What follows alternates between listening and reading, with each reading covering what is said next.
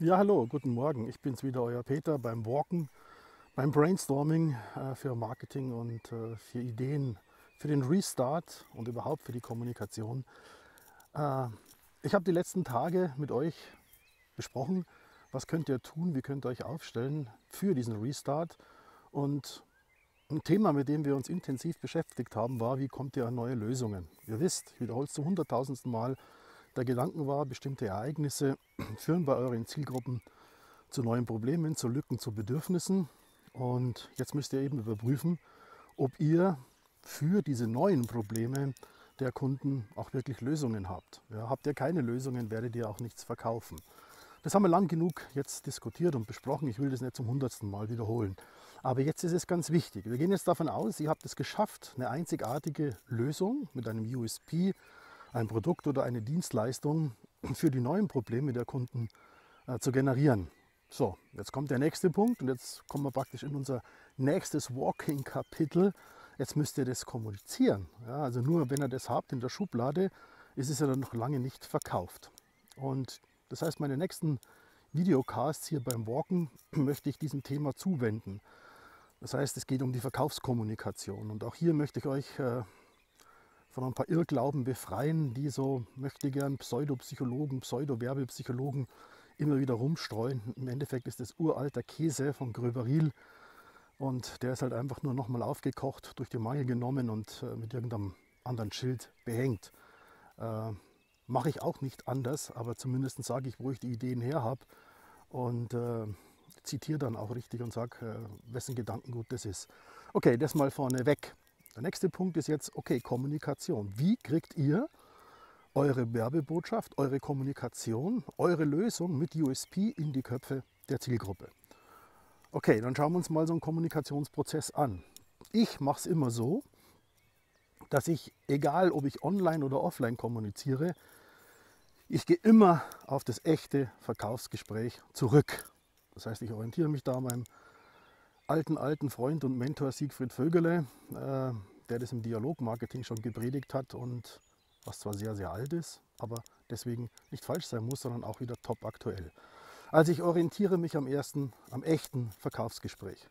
Käufer, Verkäufer, Verkäuferin, Käufer etc. etc. Die tauschen sich aus. Die beiden tauschen sich aus. Ähm, zu diesem Gespräch haben wir gesehen, wird es nur kommen, wenn der Verkäufer der Käuferin auch wirklich äh, Problemlösungen anbieten kann. Und dann, nur dann wird ein echter Dialog entstehen. Und jetzt wisst ihr, warum ich die Sessions vorher immer darauf umgeritten habe. Ihr müsst die Motive, die Motivschieflagen der Kunden kennen. Ja? Für einen guten Verkäufer ist das ja eigentlich auch nichts Neues. Ja? Ein guter Verkäufer informiert sich, setzt sich mit der Zielgruppe auseinander und sagt, was braucht denn meine Zielgruppe? Was kann ich tun? Wie kann ich sie unterstützen? Wo ist jetzt die Hilfe? Nichts anderes haben wir praktisch vorher in den anderen Sessions gemacht. So, wie könnte jetzt diese Kommunikation ablaufen?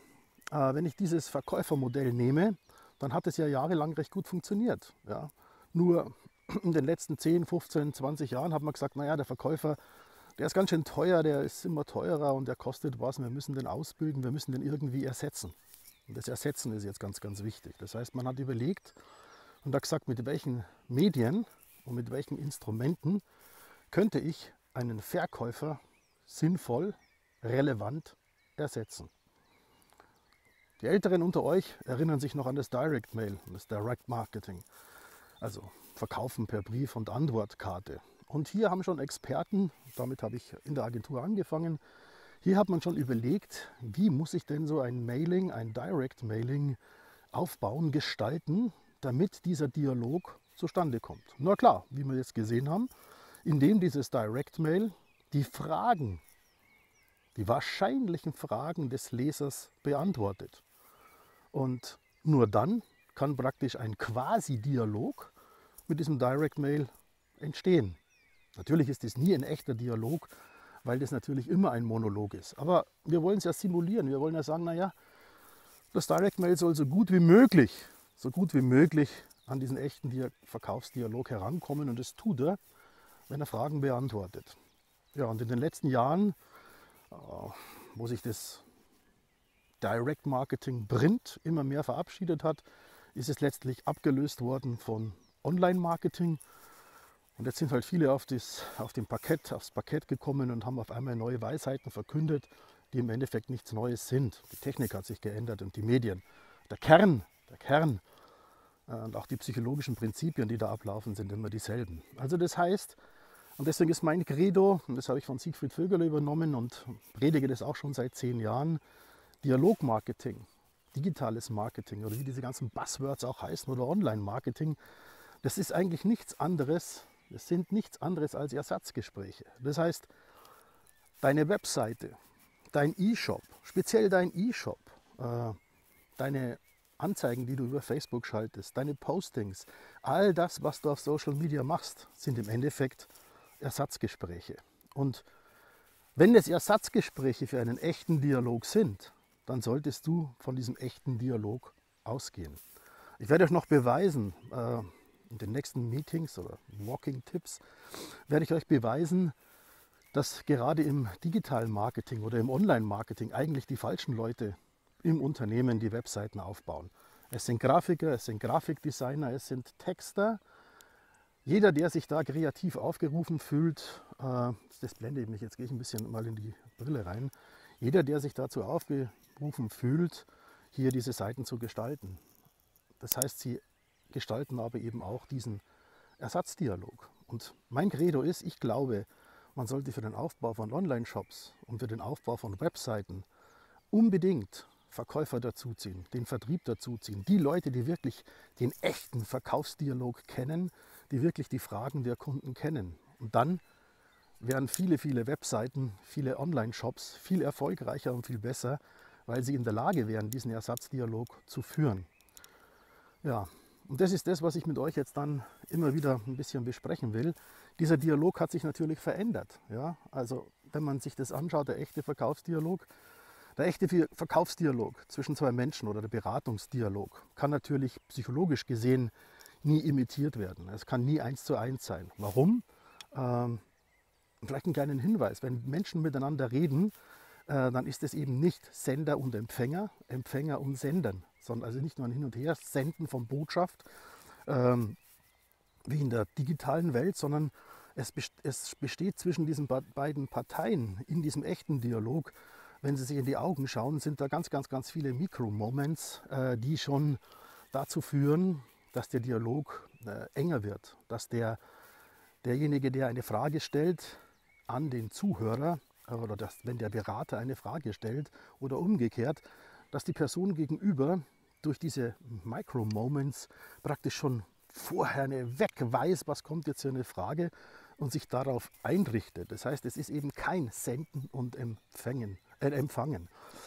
Dass das natürlich bei diesen ganzen Streaming-Diensten und bei diesen digitalen Medien, die wir jetzt einsetzen, sei es in der Schule, sei es äh, Lehrer zum Schüler, sei es von mir als Hochschulprofessor oder Professor an meine Studenten. Das geht momentan über GoToMeeting, über Teams, aber es geht nie Auge in Auge. Es geht immer Auge in Kamera, und dann wieder beim anderen Kamera in Auge. Das heißt, diese Micro-Moments fehlen. Das heißt, diese Aktionspotenziale, wie im echten Gespräch, finden hier nicht statt. Okay, aber das ist ein anderes Thema. Äh, das zeigt mir nur wieder, wie wichtig und dass eben ein echtes Beratungs- oder Verkaufsgespräch face-to-face -face, eigentlich digital nie abgelöst werden kann. Aber es kann relevant in vielen, vielen Fällen sinnvoll ersetzt werden. Okay, also das heißt, merkt euch mal für die nächsten Dinge und überlegt es mal, lasst es mal Revue passieren. Äh, was wir da machen, sind alles Ersatzdialoge, digitale Ersatzdialoge. Und Käufer, Verkäufer im echten Verkaufsgespräch ist es immer Sprache zu Sprache, Blickkontakt zu Blickkontakt in einem Raum. Äh, die anderen Dinge, die Ersatzgespräche, die Webseite, der E-Shop etc. etc., das ist natürlich immer ein bisschen, wie ich gesagt habe, zeitversetzt. Und es ist entweder Text, meistens ist es Text, er liest die Dinge in eurem Shop, er liest die Dinge äh, auf, eurem, auf eurer Webseite, das heißt das Verkaufsgespräch läuft eigentlich wie früher im Direct Mail äh, als Text. Nun verändert sich aber unsere Welt exponentiell und auch die Technologien. Das heißt, es geht immer mehr zu Video. Das heißt, wir kommen wieder langsam weg von dem Text und bewegen uns langsam wieder auf die Sprache zu. Warum sage ich euch das? Ich sage euch das deswegen, weil ihr müsst euch ja überlegen, wenn ihr in Zukunft euren Dialog mit euren Zielgruppen aufbaut, ob ihr überhaupt in der Lage seid, eure Inhalte, also eure Werbebotschaften, denkt dran, warum soll der bei euch kaufen? Warum habt ihr das beste Produkt? Was ist eure Lösung? Warum soll er ihm Glauben schenken und warum soll er sich für euch entscheiden? All diese Dinge äh, müsst ihr natürlich mit den neuen Technologien kommunizieren können. Und fragt euch mal, ob ihr das kommunizieren könnt. Wie sind eure Inhalte aufgebaut? Könnt ihr wirklich über ein Handy, über eure Webseite, mobil den Verkaufsdialog führen? Jetzt kommen alle daher und sagen, ja, ja, ja, klar, unsere Grafiker haben natürlich unsere Webseite responsive gemacht. Die, die, die kann ich auf dem Handy anschauen, ich kann sie im Hochformat anschauen, ich kann sie quer anschauen. Nein, nein, das haben wir alles schon gemacht, Herr Fischer. Darum geht es aber gar nicht. Das kann jedes Deppen-Template für 45 Euro, das ihr euch kauft, schon seit zehn Jahren. Nein, es geht, was auch mein Freund Karl Kratz immer wieder gepredigt hat die letzten Jahre und was ich für absolut richtig empfinde als Psychologe, äh, ich muss mich doch auf diese Perzeptionssituation einstellen. Das heißt, wann und wo kommuniziere ich mit diesem Kunden? Ja, also wie sieht es aus im Zeitpunkt des Werbemittelkontaktes? Wo ist der Kunde? Ist er unterwegs? Liest er meine Botschaft am Handy oder vor einem riesengroßen Bildschirm zu Hause oder auf der Couch neben dem Fernsehen mit dem iPad? Das heißt, diese unterschiedlichen Devices, Instrumente, Technologien erfordern natürlich, dass eure Werbebotschaft auch wirklich mit diesen Geräten kommuniziert werden kann. Ja, von den Rezipienten. Ja, und es geht hier um die Perception, es geht hier um die Aufnahme erst einmal und noch gar nicht um die Wahrnehmung. Das verwechseln auch viele. Also kann die Botschaft überhaupt aufgenommen, noch nicht wahrgenommen, aufgenommen werden. Und darum geht es. Und überlegt es einfach mal, das war so der kleine Anschubser heute bei dem schönen sonnigen Tag. Das heißt, alles, was wir jetzt machen, und ich werde noch in die Tiefe gehen, alles, was wir jetzt machen, ist ein digitales Ersatzgespräch eines echten Verkaufsgesprächs von Mensch zu Mensch. Und das wir natürlich jetzt dann sinnvoll, macht ja auch Sinn, in digitale Medien übertragen. Und wie wir das machen, wie wir da codieren am besten äh, und in welcher Situation äh, wir ausgelesen oder gehört werden, in Zukunft wird es ja mehr Sprache wieder sein, Video sein, Live-Video. Das heißt, das Ganze wird jetzt auch einen Schubs kriegen. Überlegt mal, ob eure Verkaufs- und Beratungsgespräche, das mache ich auch in einer der nächsten Sessions, ich werde auch ein Webinar darauf vorbereiten, Beratungsgespräche werden immer mehr online funktionieren. Versteht ihr? Das ist die Veränderung, die ich euch gesagt habe. Die Kunden haben es jetzt gelernt in der Krise. Die Kunden haben gelernt, Mensch, digital funktioniert ja auch. Das heißt, Beratungsgespräche für erklärungsbedürftige Produkte, sei es ein Sportprodukt, sei es, kann auch ein Bankprodukt sein, ein Versicherungsprodukt, alles, was einigermaßen erklärungsbedürftig ist, das kann ich doch in der, in der digitalen Welt erklären. Ich muss doch nicht vor Ort hinfahren und das sind Dinge, die man sogar jetzt ad hoc machen könnte. Ja, ein Beratungsgespräch, ein Verkaufsgespräch einfach aufzeichnen oder hier so in so einer Art, wie ich jetzt hier mache, in so einem ad hoc Freestyle Livestream, um dann in eine echte One-to-One-Verkaufsberatung und gerne das eben auch digital, wenn wir eben nicht momentan durch den Lockdown uns wirklich selber sehen können. Deswegen nutze ich ja auch hier äh, mein Handy äh, um mit euch zu kommunizieren. Schöner ist es natürlich, wenn es face-to-face wäre. Also überlegt das alles mal. Ähm, ich freue mich schon auf die nächsten Sessions, weil jetzt kommen die Dinge, wo ich als Werbepsychologe echt ein bisschen Gas geben kann und euch vielleicht auch ein paar neue Sachen erzählen kann. Also bleibt mir gesund, geht raus, haltet euch fit und bis morgen. Euer Peter. Tschüss.